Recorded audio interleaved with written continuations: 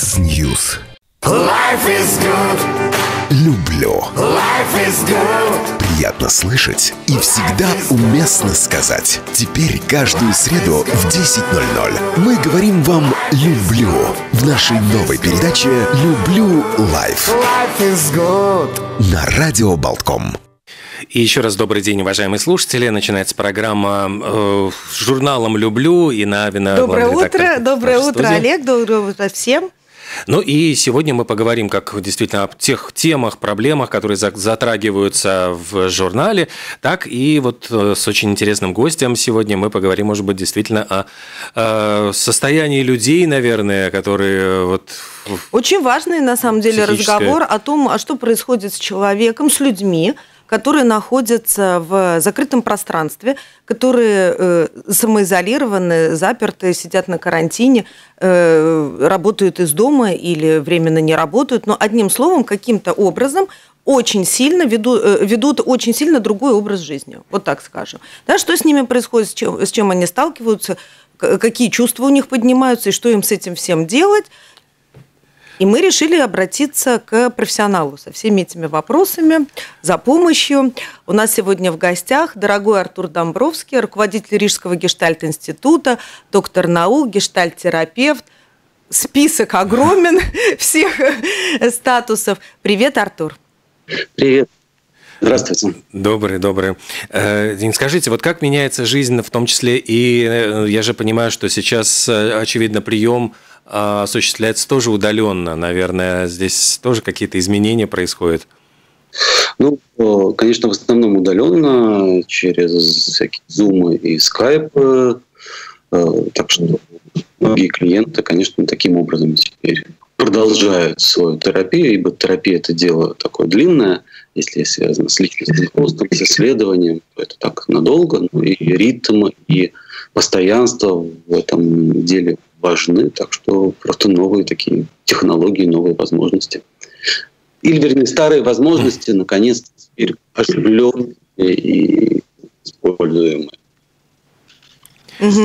Что самое, наверное, главное вот для людей, э, какой-то вызов или сложное для того, чтобы, э, ну, когда они оказываются на карантине, оказываются на, в самоизоляции, это вот с каким главным вызовом им приходится И столкнуться? я бы сказал, что э, какого-то вот прямо особого такого ну, стресса и какой-то такой прямо паники и какого-то вызова нету. Нет так, какой-то особой темы, о боже, я на карантине, и я Мгм. тут в одиночестве умираю. Я бы сказал, такой темы нету прямо. Люди, э, и э, мои клиенты, и с коллегами, которыми разговаривал, вполне адекватно относятся к ситуации. Да, несколько грустно, потому что какие-то планы посыпались, ну как-то, но так, чтобы э, было бы какое-то ощущение паники и катастрофы, нету.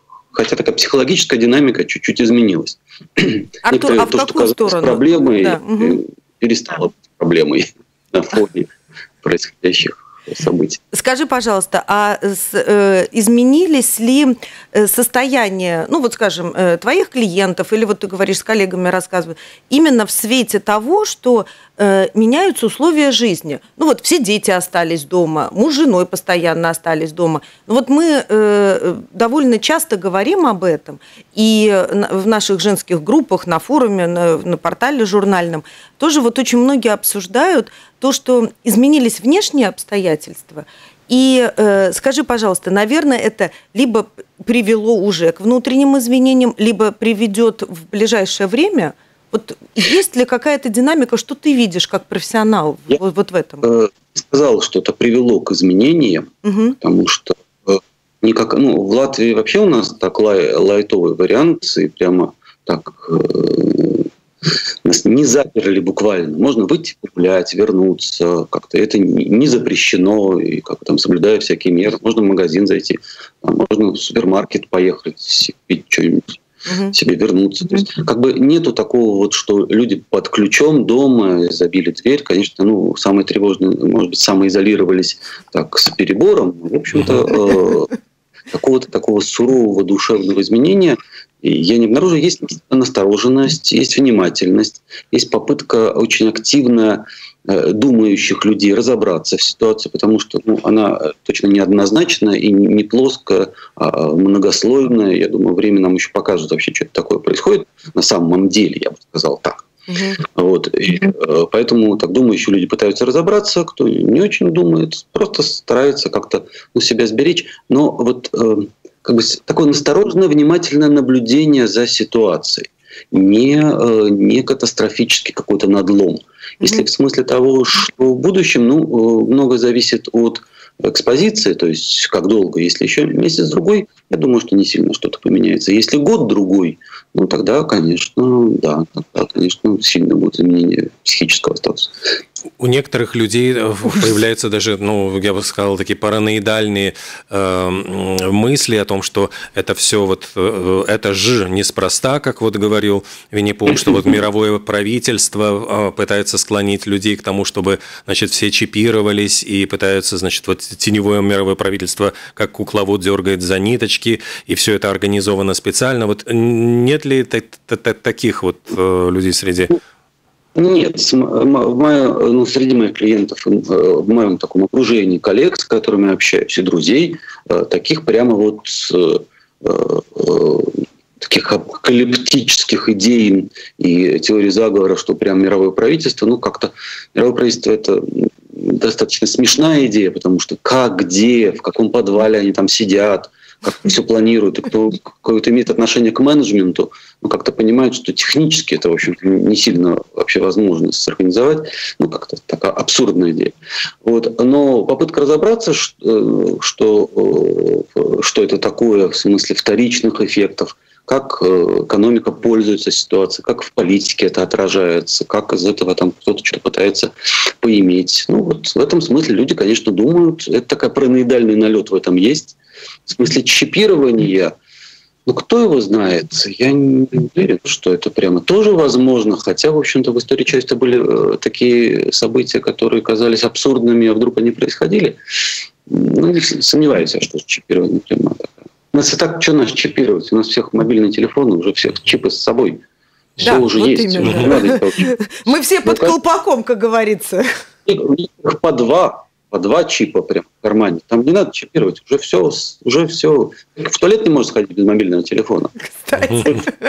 Ну, чипирован, уже нету проблем, уже все, вся задача уже решена. Если кто хотел чипироваться, айфоны, самсунги, ура все а, кстати, да, вот тоже наблюдение любопытное. Причем вот больше всего о э, всемирном заговоре, о чипировании и вот об этих ужасах люди обсуж... Э, говорят в социальных сетях. То есть там, где они угу. сидят сутками как раз-таки, с удовольствием все это вот перетирают, перемалывают. И причем, э, вот как ты говоришь, э, в любой момент, э, ну, когда не откроешь любую социальную сеть, там, Facebook, Instagram, там, я не знаю, Telegram, все что угодно – пожалуйста, все сидят, все обсуждают.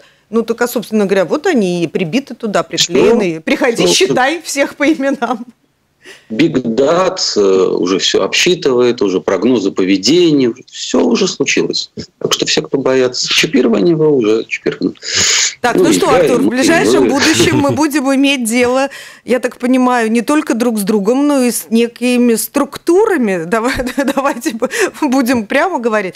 Некие роботы или системы, которые ну, входят с нами в общение в, в какое-то. Ну, я не, я не буду сейчас говорить о восстании машин, но тем не менее. И ладно, там безобидный робот-пылесос э, ползает, э, пол пылесосит, но ведь есть намного более умные системы, как ты говоришь, которые обсчитывают в том числе наше поведение э, и влияют на наши выборы, правильно? Конечно, да. Ну, это открытая информация, известная. И сама эта информация о том, что она открытая и известна, уже является влиянием. В смысле, все является влиянием. И э, от, сказать, секреты э, раскрыты тоже являются влиянием. То есть вот, говорили о чипах, это влияет тоже. Хотя чипов да, помимо никаких нету, но идея это уже есть в головах. Вот оно уже и произошло все. Кстати, действительно, вот так вот Артур просто сказал об этом, и я думаю, а на самом деле, а что этого бояться? Наверное, если об этом уже в открытую говорят, ну так не бывает дыма без огня. Ну, правильно? Что-то такое. Э, вот, да, если, ну, например, параллель привести, потому что есть, ну, как бы два слоя такого бытия, и есть э, такой физический, физиологический слой, там, например, вирус, а есть психологический слой, который метафоричен и э, который пользуется скорее такой аллегориями. И э, э, если вот, э, вирус ну, как бы вот этот физический вирус там как-то живет, заражает кого-то, кто-то болеет, кто-то нет, то мы также можем говорить о психологическом вирусе, который, конечно, это метафора, нет, нету никакого носителя вот, угу. психологической, это, это мысль, идея, это слова в голове, там, нейронные связи. Но метафорически можно говорить о том, что пандемия такой психологической вирусности, она как раз-таки развивается, может, даже сильно больше, более быстрыми темпами. Сколько народа от этого погибнет? Ну, думаю, что можно сделать такую математику, посмотреть, сколько вот от параноидальности народу, как меняется поведение и каким это последствиям ведет, теоретически можно вывести коэффициент там, деструктивного какого-то поведения и даже гибели людей на основании зараженности различными идеями, не только там вот страх перед коронавирусом, еще всякими другими. Я думаю, что там тоже есть своя смертность, и она может даже бы и повыше, чем от физиологических причин. Ну, наверное, страхи ведь э, у многих людей связаны не только с э, самим вирусом, хотя здесь, ну, вот это отдельная тема, но и с его экономическими последствиями, потому что очень многие люди сейчас находятся, ну, в таком депрессивном, тревожном состоянии из-за того, что они видят, как, э, ну, массово происходит увольнение, э, закрываются предприятия, пытаются каким-то образом там предприниматели минимизировать э, свои вот убытки. И вот здесь э, вот можно ли ли говорить о том, что вот эта вот Великая депрессия, которой нас пытаются пугать, она э, тоже влияет на вот общее такое тревожное состояние людей?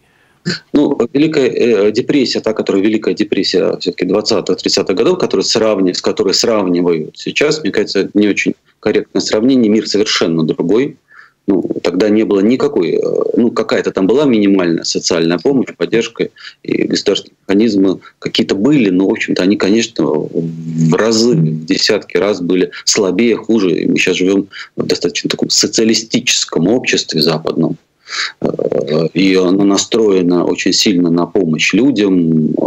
В этом смысле, конечно, социальные поддержки, даже в нашей стране, которая не сильно там богата, даже здесь, в общем-то, как это все функционирует.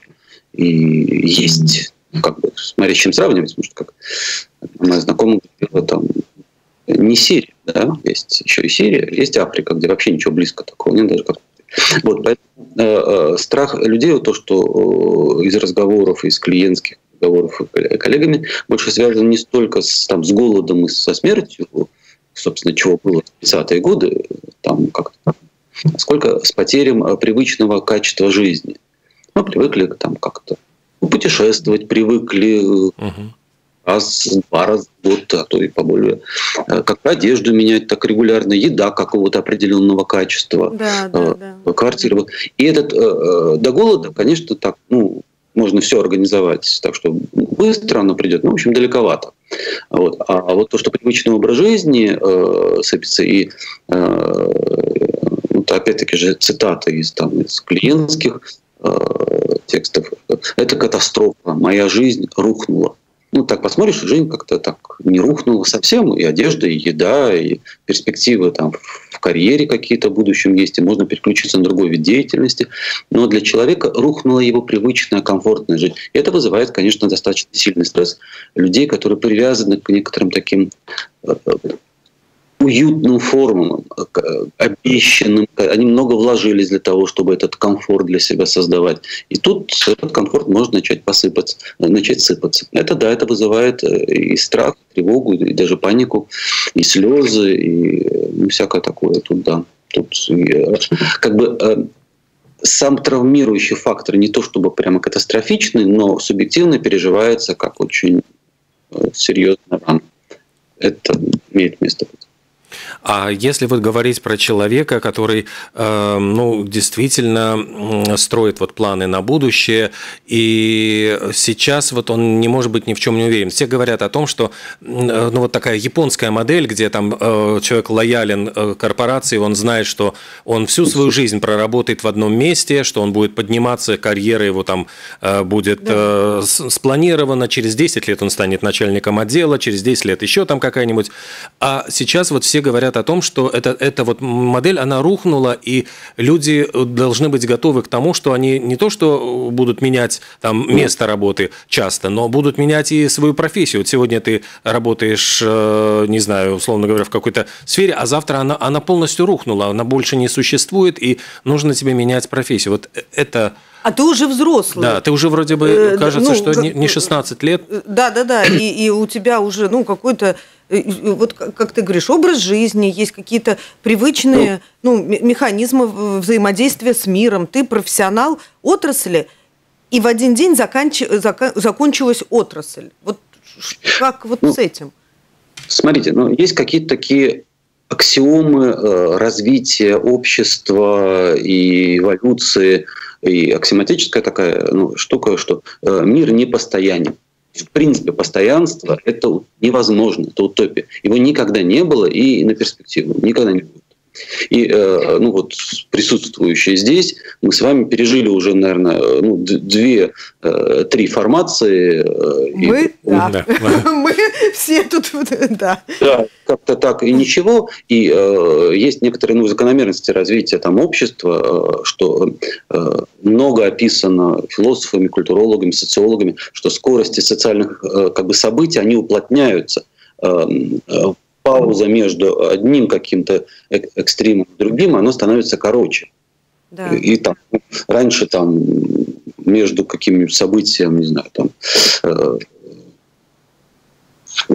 строительством пирамиды, Христ, там, э, э, рождением Христа, там пару да, тысяч лет да. прошло. Угу, угу, а сейчас между одним каким-то похожим событием и другим проходит там 3-4 года. Тут Артур, мы еще все помним 90-е, да. а нам уже на тебе вирус. Что там Советский Союз? Каких-то 70 несчастных лет. Это даже для истории вообще ничего не значит. Фу. Ну да. Но огромная вообще, тысячелетиями Римская империя, Египет угу. жили. Что 70 лет вообще не о чем говорить все уплотняется. Поэтому шаг между э, событиями стал э, короче. Конечно, нам, я думаю, еще на перспективе, нам еще предстоит пережить еще таких коронавирусов, все непонятно чего, изменений социальной информации, еще штуки 3-4 до конца нашей жизни всем присутствующим, думаю, прямо вот гадалки не ходи, гарантировать можно точно. То есть не будет э, стабильности, и в этом смысле некая такая иллюзия, что вот мы выстроили стабильную жизнь, навсегда mm-hmm. так нет. Так не будет и профессии которые меняются с огромной скоростью. Ну, вот все какие-нибудь там сейчас компьютерщики, сисадмины, если они родились там в каком-нибудь 70-м году, то кем они хотели тогда быть? Космонавтами, врачами, слова такого не было, сисадмин. Звучит-то неприлично-то вроде как. Ну да, на самом деле. Они еще в угол поставят на месяц. А сейчас есть Конечно, новые профессии будут. И э, опять-таки же исследования показывают, без этого э, коронавируса, что профессии умирают. Там многие заменяют технологии. Это, к этому надо быть готовым сразу. Мир не будет такой, какой он сейчас. И не, не потому, что коронавирус, а потому что это, без него он не будет такой. Угу. Это стресс. Может быть, наши психические возможности не такие оперативные, как изменение обстоятельств. Мы более вязкие, мы как бы эволюционно созданы для более стабильных условий среды. Угу. А тут все прямо вот так. Да, и это стресс, да, и, соответственно, возможно, новая популяция людей, которые более адаптивны будут к этому, оказываться в авангарде адаптации и лучше приспособиться. А кто не приспособится, это ну, грустная история, надеюсь, любимые, близкие и государство по мере своих возможностей, может, как-то поможет тем, кто не сможет адаптироваться, но скорее не поможет. Ну, то есть это получается как лишние люди вот из классики, э, русской классики, да? Да, да, в 19 веке были такие да. лишние люди, которые не встроились, не были, может быть, столь динамичные, столь гибкие, вот как ты, как ты говоришь, пластичные. И в наше время, вот, да, видимо, мы тоже будем наблюдать, таких людей их будет немало. Да. Ну, да, то есть прямо точно. Что делать? Да. Подожди, не уходи. Я предвижу будет. Так это уже это происходит. Это уже сейчас происходит. Даже вот в области психотерапии, в которой работаю, там, пару лет назад прямо такие страстные разговоры о том, что психотерапия в интернете, вообще интернет это зло, э, никакой психотерапии запретить вообще психотерапевту подходить к скайпу близко. Это нельзя. Это вообще эти же люди прямо сейчас сами в интернете по уши и прямо пишут директивы Европейской ассоциации психотерапии о том, как надо работать в интернете. Эти же люди, которые прям нам запрещали ковыряться в носу. А вот. можно вспомнить, и э, если говорить о религии, то, в принципе, вот э, насколько настороженно относились к интернету, Кстати, и да. тоже называли там злом исчадием ада, а сейчас, простите, уже и э, ну, да. удаленно, по-моему, и русская Яйца православная... освещают, да, по-моему, да, да, уже. Да. Слушайте, уже, простите, уже ребята, все, пожалуйста. свечку можно удаленно зажечь, да, и да. причастие получить, все нормально. Но есть коллеги, которые не могут адаптироваться к этому. Да, есть да. коллеги, которым трудно. Они не могут в этом зуме разобраться, в этих кнопочках. Они не могут контакт строить, потому что они более ригидные в силу своей конструкции. Они очень хорошие специалисты. Прямо mm-hmm. очень прямо high level класс, прямо люкс. Но не могут и все. И, соответственно, конечно, в этих условиях, когда в интернете на работе, они не могут работать, они отказывают клиентам, они против. Они не то чтобы в депрессии, они же психотерапевты, они как-то умеют там обходиться с собой, да. но все равно трудно очень. И, возможно, какая-то часть в профессии э, э, ну, э, практикующих психотерапевтов там, или психологов, они, может быть, окажутся не у дела и не будут в этой профессии, потому что не смогут как-то использовать это. Коронавирус не, все равно не навсегда. Понятно, что мы вернемся к офлайну в конце концов, но тревога останется, что вот может вот в один день вот так вот так все случится. А те, кто уже сейчас во все постятся и ведут всякие вебинары, они, конечно, в авангарде адаптации. Ну, если интернет, конечно, не отключится. Если еще такая опция, да. Артур, мы и так тут все сидим запуганные. Ладно, ты уж апокалипсис не обрисовывай нам. Как жить-то без интернета, а у нас товарищи? Звонок. Обязательно его должны отключить по всей, по всей логике событий. Потому что мир, если посмотреть, ну, мое, мое э, как бы предположение этого тренда такого, все двигается к усилению контроля. И каждая новая акция э, создает механизм контроля, который как бы э, призван улучшить, справиться с кризисом. Кризис проходит, а инструменты контроля остаются. И там кто, кто помнит, как банковская система стала прозрачной? Мы же боролись с терроризмом, да, с терроризмом да. уже никто не борется. А банковская система осталась прозрачная. Все. А где террористы? Уже все. Не, не, забыли уже слово этого, что-то недавно не слышали. А, тут то же самое. Что контролировать? Всем мерить температуру. Ой, а у нас звонок. Да, у нас есть звонок. нас звонок. Да. Здравствуйте, да, пожалуйста. Здрасте. А, может теоретически человека угрозами довести до инсульта, инфаркта? Возможно ли такое событие при производственных отношениях, то есть между начальником и подчиненным?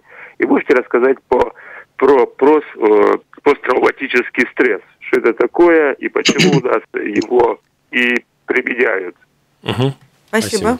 Артур? Ну, довести до инфаркта, инсульта э, можно людей, у которых есть сложности э, и заболевания сердечно-сосудистой системы. Все-таки здорового человека довести до инфаркта, это как-то, даже если очень стараться, не сильно получится. То есть это должна быть все-таки какая-то предрасположенность, э, атеросклероз, как, ну, то есть это должно быть уже готово. Тогда, конечно, повышение давления и а может привести, потому что стресс приводит к повышению давления, и там какие-то инсульты дела могут быть, ослаблены сосуды. Ну, то есть, но так, что вот довести, конечно, нельзя. Ну, это как-то... Э, то есть, ну, в этом смысле человек предрасположенного к этим заболеваниям доведет что угодно. А специально довести, ну, нет. У меня, у меня вот был вопрос в продолжении как раз вот темы отключения интернета.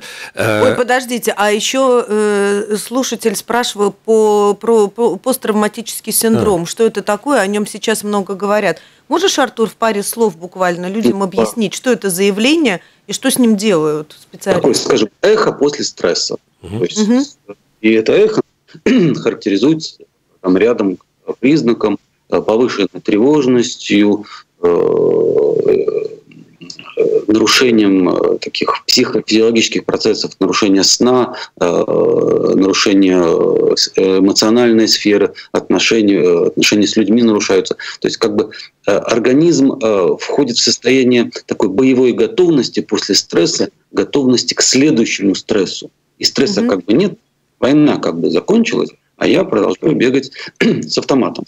Mm-hmm. И готов к новому нападению. В этом смысле э, различные признаки, э, происходящие внутри меня, в моем каком-то внутреннем мире, во внешнем мире, я начинаю распознавать как намеки на угрозу, на опасность.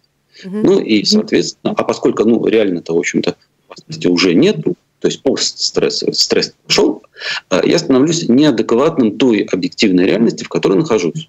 И, ну, там тома написанные, диссертация об этом, но это как бы эхо после стресса. Я веду себя так, как будто бы война продолжается. А войны как бы уже нету. А хотя мои ресурсы исчерпаны уже для ведения войны, я продолжаю там как-то находиться в боевой готовности к нападению. Например, это очень коротко, что все там, конечно, сложно и как-то так. Угу. Спасибо.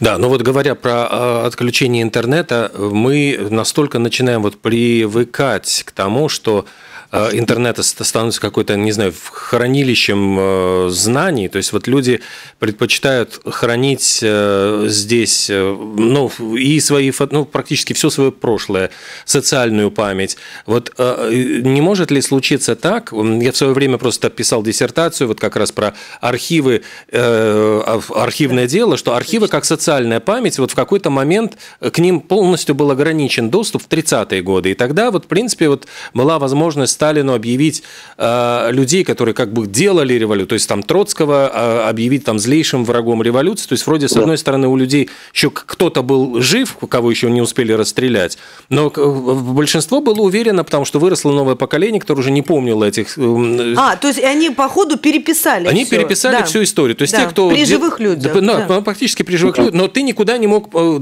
пойти доказать. Там старые газеты боялись хранить, потому что тебя могли за это да. расстрелять. Вот если отключится появится интернет, можно ли тогда э, переписывать историю, условно говоря, вкладывать ну, любые какие-то вещи в головы людям, которых просто нет уже навыков э, разучиться ведь люди ходить в библиотеки, там, читать книги, то есть все уже разучились. Уже разучились. Ребята, да, да. уже разучились. Ну, как можно сейчас говорить, как разучились, все. так и научатся заново ну, угу. собственно, что там, разучились и научились опять. Это, это одна история. А вторая, конечно же, любое хранение информации внешне создает э, сложности с обработкой информации такой внутри психологической. Э, наверняка лучше знаете, как имеющий отношение к филологии, но есть такая э, кем-то высказанная из филолога фраза, что когда появилась письменность, пропала память. Угу. Да, да, да, да, да. Раньше это из уст в уста, из устное творчество. Вот, э, да, да, да. Какие-нибудь э, сказания. Ой, да какой-то песнеры, даже до сих пор сейчас в, в, в Индии в ведической э, культуре, у них до сих пор в традиции обучения э, жрецов, э, они учат веды, а это тома, да. наизусть. И они знают ну, их наизусть так, как угу. это учили там 3-4 тысячи лет назад. Угу. Они угу. помнят тонны текстов наизусть по местам это вот это кто-то такое способен на нынешнее в наше время. Тут телефон не может запомнить. А mm-hmm. раньше помню, сколько, наверняка вы помните, сколько телефонов вы помнили. Ну, что Кстати, 50 ты прав, помню. точно, да. А сейчас, правда... Ну, свой номер телефона свой, не всегда. да, действительно. Да? То есть, но это ресурсы э, психические, которые не, как бы они заснули, но они не умерли. Достаточно ну, угу выключить эту внешнюю память, и внутренняя память потихонечку э, оживет и как-то запустится. Потом, э, ну, история это всегда все-таки интерпретация, и поэтому существует историческая наука, которая бесконечно интерпретирует, интерпретирует, и это под разным углом, и э, такая создает с одной стороны, ну, как бы огромное поле для манипуляции всегда можно. Ты не знаю, это дело не только Сталин, это и Римляне делали, египтяне это делали, интер... народу подавали историю в нужном свете. Ну, для этого были там наскальные какие-то росписи, и там вот вождь побеждает всех, а он там вообще никого ни разу не побеждал. Но да. побеждает, так надо было. И все знали, что он побеждает.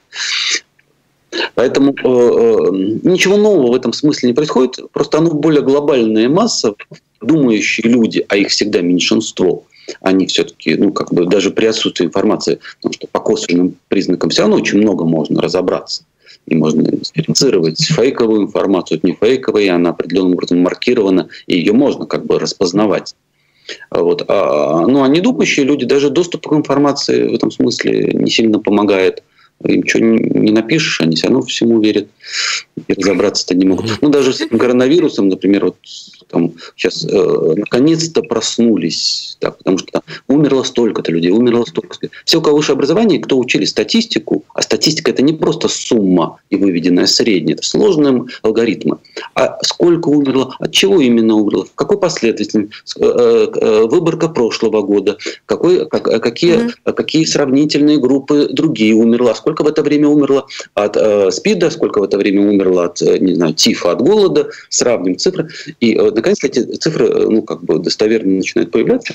И видно, что, в общем, как бы смертность, например, никакая, не такая запредельная, как в прошлом году, ровно такая же. Вот, но, тем не менее, если, например, как крупным планом показать дохлую мышь и снизу написать, до чего довели страну, то кажется, что все умерли. Да, на самом деле так и есть. Э, но, как ты правильно, Артур, говоришь, э, умные думают, анализируют, сопоставляют, э, всякие другие разные пользуются тем, что им рассказывают. А, а разговариваем мы все сейчас э, на радио, мы все специалисты, и на самом-то деле что происходит? Есть СМИ, в которых работают профессионалы, которые пытаются докапываться до истины и общаются с такими же профессионалами из э, разных любых других областей. Да? И есть люди, которые с удовольствием пользуются интернетом, в котором одна баба сказала – ну, собственно говоря, информация очень разная, и источники, которыми люди, ну, из которых питаются, пользуются, они тоже разные. С этим ничего ну, не поделаешь. В любом случае, опять-таки же, ну, думание – это значит сложный, взвешенный анализ всего объема информации. Потому что СМИ, СМИ тоже рознь. Там, у меня, например, много претензий к вашим коллегам на Евроньюз. Уважаемый канал. Ну-ка, Каждое ну утро мне умерло столько-то человек, вечером умерло столько-то человек, умерло ни одной позитивной новости, прямо морг какой-то вокруг. Ребята, вы же профессионалы, что вы творите вообще? Вас под суд отдать на создание панических. А сколько выздоровело? Каждый день. В Англии умерло 700 человек. Прямо mm каждое утро мне это в мозг вкачивают. Это профессионалы. При этом в интернете, где бабка сказала, я нахожу много позитивных вещей. Ты умеешь вот, видеть. Да. да, эти бабки как-то сильно более внятные, чем Евроньюз, который типа профессионал. Э, Евроньюз э, явно ну, тенденциозен в какую-то вот свою такую нишу создания панического и тут снова возникает вопрос, а кто может быть заказчик ну этого да, банкета? Стоит, стоит за этим. Например. Кому эм, выгодно? Ну, э, тут, я думаю, что помимо ну, вот, теории заговора значит, мирового правительства, которое заказало, есть еще же как линии возможных развития событий. Ну, во-первых, никто не отменял просто глупость. И э, я не помню, к сожалению, как называется, вот в, в науке такой, естественно, научной, есть понятие лезвия Акама. То есть, если э, э, есть разное количество объяснений, то э, самое простое объяснение, скорее всего, будет верным. А, такое же есть в социологии, что если есть разное количество объяснений, то глупость, скорее всего, будет наиболее верным. И э, думаю, что глупости, э, не заговор, а просто вот глупости, в, в, в самом примитивном смысле слова, этого много. То есть люди просто глупые и делают глупые вещи. Не потому, что они как заговор делали, а потому, что они просто глупые. Это никто не отменял. Это, скорее всего, самое верное решение. Поэтому я думаю, что глупости прямо вот много. И это никто их ни, никуда не настроил. Просто глупые люди. Это один а, показатель. Второй, конечно, ну, как-то то, что в в политике больше, когда возникает какое-то событие, и э, сидели, думали, как бы нам это сделать. А тут возникает событие, например, вирус. И думаю, о, какая удачная история. Из этого же много можно что сделать. Думаю, что на хвост с этому событию садятся ну, все, кто из этого пытаются каким-то образом ну, как-то обойтись. Не знаю, там была вот, например, ситуация Брексита. Все, о ней больше никто не говорит не знаю, воспользовались, все. Это уже, это же здорово, теперь же как-то можно тему Брексита пройти как-то вот без Ну, рифов. как говорится, это вчерашняя новость, это неинтересно, сегодня же намного интереснее. Вон сколько трупов, например. Ну да. Ну, да. А в Сирии там воевали, прямо прям мировая война вот начала. Все, про Сирию вообще никто уже не помнит. А То почему, есть, почему это, продаются вот плохие новости лучше всего? Почему человек ну? так вас, в, в, устроен, что ему новостям? интересно... Да, плохим новостям он гораздо больше... Артур, скажи нам, пожалуйста, как психолог, Почему, Плохая... да, плохие новости из СМИ так востребованы? А, а, вообще плохое лучше воспринимается, чем хорошее. Парадокс, скажи. Это не же парадокс. парадокс. Э, Объясни, Такие пожалуйста. некоторые закономерности э, психи- таких психологических процессов. Э, Ну, например, вот э, э, многие родители наверняка жалуются на своих детей. Вот ему хорошего вот делаешь, он не помнит хорошего.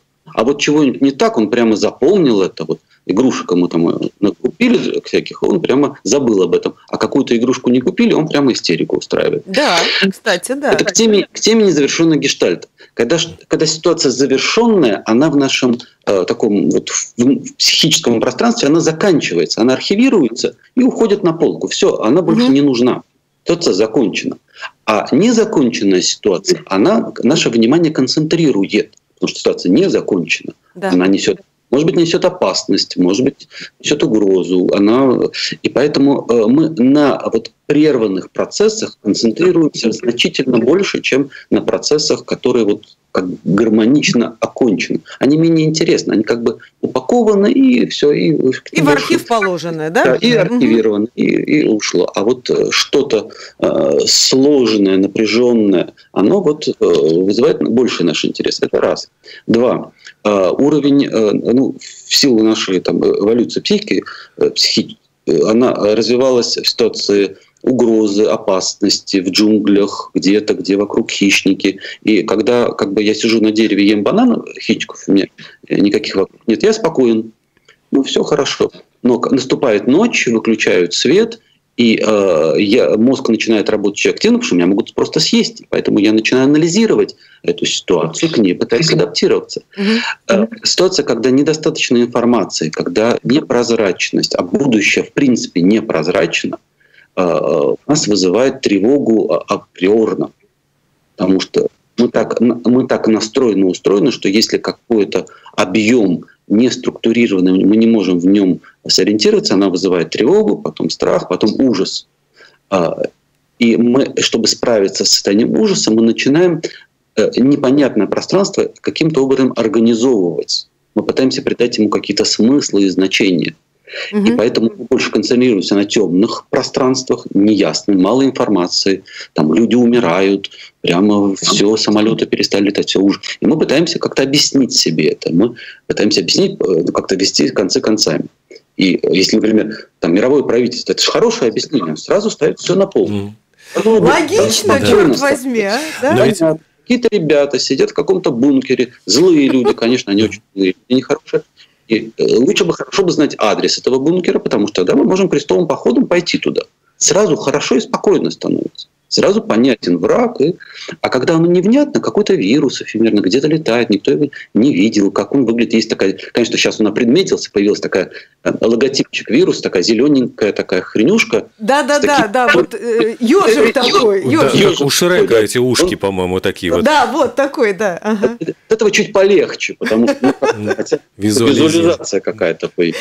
Правда, Да, да? ну, я сразу вот почему-то вспоминаю э, советские СМИ. Там вот, вот там действительно вот было, во-первых, все понятно, то есть мы идем к Да, светлому да, будущему. да, да. И Ну, включаешь, и когда да. включаешь, вот, например, телевизор, там сразу же первая новость: рекордный урожай зерновых собрали хлеборобы Узбекистана. Да, да. Сплошь только позитивные вот новости, то есть вот как-то. Хорошо, спокойно, Хорошо, спокойно. радостно. Спасибо за наше Да. счастливое детство. Да, Да. на работе грамота, звеньевой пожал руку бригадиру. Ну хорошо Да, ведь, да. вот все это как-то. А кто там думает, что почему-то в этом году мы собрали в тоннах урожай, потом почему-то в пудах мы этот урожай собрали, потом почему-то в, в грузовиках. Это уже лишняя информация, да? В чем мы собрали этот урожай? Рекордный урожай, там миллион пудов хлеба, пуды, это же по 16 килограмм, это же надо как-то.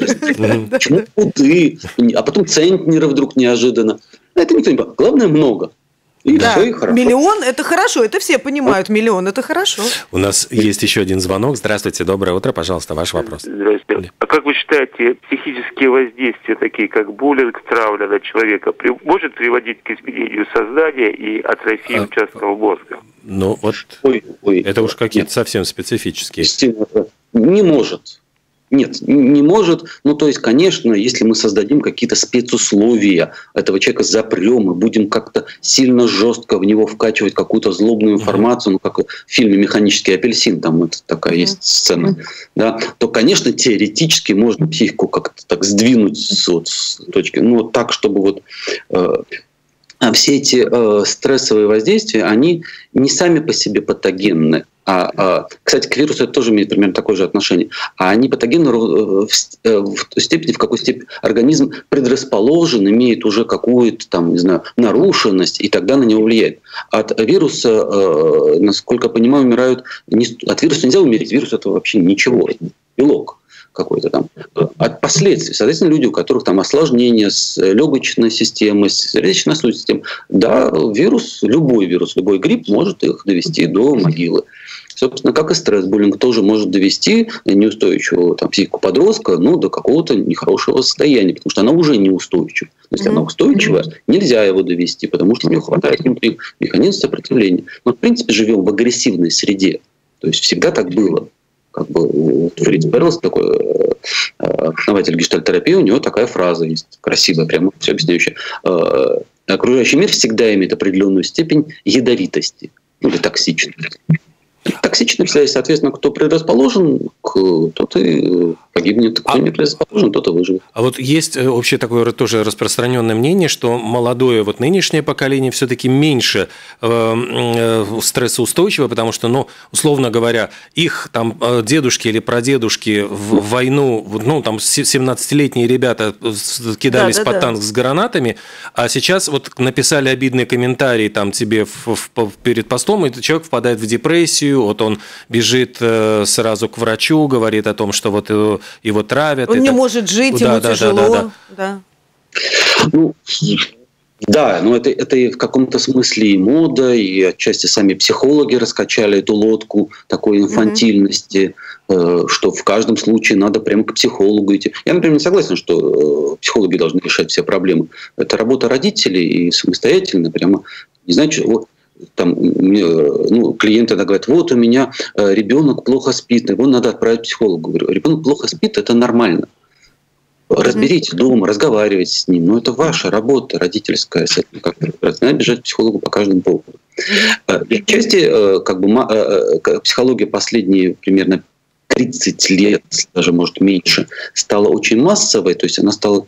Психологов много выпустили, им же надо работать, они должны создавать клиентуру. Они должны создавать тревогу, создавать мотив идти обязательно к всем, всем психологам. И это, конечно, ну, создает такую тенденцию, может быть, чуть-чуть, что по каждому поводу найти психолога. Но на самом деле огромное количество людей, большинство, самостоятельно прекрасно справляется с этой ситуацией. Да, конечно, экстримы такие на если мы берем генеральную выборку, мы видим э, не середину генеральной выборки, а мы видим периферию. То есть те, кто менее адаптивны. Да. И нам может показаться, что их большинство, но их меньшинство. Большинство людей вообще прекрасно справляется с этим стрессом. И э, от того, что они выросли, условно говоря, в такой сытности, это не значит, что их адаптивные механизмы нарушены. Угу. Не дай бог будет что-нибудь плохое, они справятся с этим и адаптируют. Но мы будем видеть самых истеричных, тех, кто громче всего кричать будут. И нам будет казаться, что их как раз-таки вот много. А их немного, их меньшинство ну, не знаю, там возьмем какую-то тему, например, модную, там тоже они были уже, там про гомосексуализм. Ой, гомосексуализм, везде гомосексуалисты, прям страшное дело. Mm-hmm. Статистика, что в древнем, э, в древней Греции, что в древнем Риме, что э, в средневековье, 5, максимум 7%. И, и никогда не было больше. И ничего не повлияло на это. Там фашисты убивали всех гомосексуалистов, война закончилась, и эти 5% снова восстановились. Там а, кстати, вот ты только что говорил... Уже все было, Да-да-да, а, Артур, только... И, да. что, и в Древней Греции, где был, э, была даже культура гомосексуализма, где армии собирались из гомосексуальных солдат, те же 5-7%. Ничего это... Ну, они сейчас ярко, конечно, на аппарат вышли такие, кажется, что их прямо все вокруг. Это всего лишь там доля процента. То же самое здесь. Если, конечно, какие-то люди ведут себя, ну, реагируя на стресс более ярко, может показаться, что все так себя ведут. Но это очень небольшой процент людей. На самом деле. В основном люди прекрасно справляются с этим стрессом. Какие э, успокаивающие, приятные слова. Я предлагаю, э, ну вот, к сожалению, наш эфир Да, подходит к концу. Говорили бы и говорили. Огромное тебе спасибо за Спасибо. очень Спасибо. подробное объяснение. Э, можешь, пожалуйста, напоследок какое-нибудь такое вот пожелание? Ну, ну вот, не знаю, вот мы, мы хорошо заканчиваем на э, такой ноте, что давайте приспосабливаться, и все равно нас, э, э, людей, сохраняющих спокойствие, много. Спокойствие, э, творчество, э, безусловно, оптимистический взгляд на жизнь – это очень важно, потому что оно связано с иммунной системой и с, просто с качеством жизни. Даже когда ничего нет, можно радоваться жизни в самых маленьких мелочах. И это очень важно. Но, э, наверное, я так закончу с словами царя Соломона. Все пройдет, и это тоже пройдет. Спасибо, Спасибо, Артур. спасибо большое. Ну, мы обязательно тебя встретим и э, поговорим еще о чем-нибудь очень интересном и актуальном. Большое тебе спасибо. Спасибо большое. Всего доброго. Ну что же, спасибо большое. Да, ну Да, мы- что, Олег, э, приятно разговаривать с такими гостями, как-то так и внутренне успокаиваешься и понимаешь, что да, вирус, конечно, да, ужас, ужас, но не ужас, ужас, ужас, ну не так все страшно на самом-то деле. Да, переживем, прорвемся. Да, ну и да, тут нам правда напишут Соломон не наш царь. Ну ладно, Спасибо. мы всех любим. Мы любвеобильны, мы журнал «Люблю», мы за любовь.